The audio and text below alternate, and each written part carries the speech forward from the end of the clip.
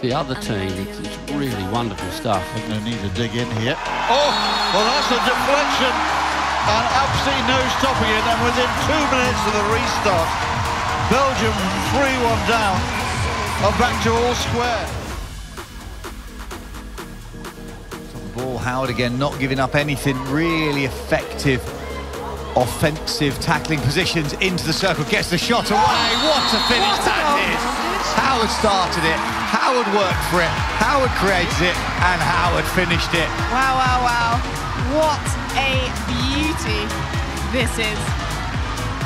That's And it's a, bit scrappy at the top, and it's actually Hunt who kind of buries a way through, but Tess Howard take a bow.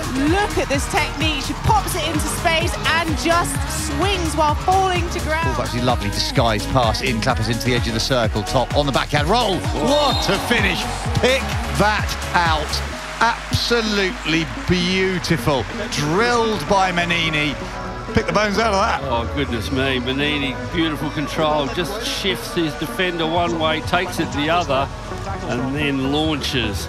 And that is going to take some stopping high up into the corner. Wonderful goal.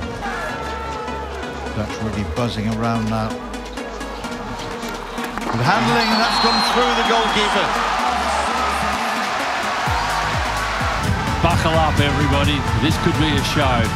Completely different opportunity this time. Has to work really hard to create the shot, but he does it critically, gets it on target, and hits it really cleanly. And that's really difficult for Reynolds Cottrell. Straight down the middle alley.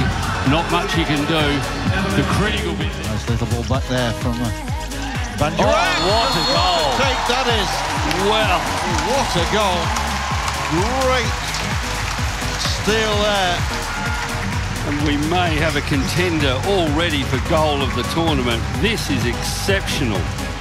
Controls it here and spins it. It takes a deflection. Oh. It's going away from goal, and Banderak is able to redirect it past Vanasch.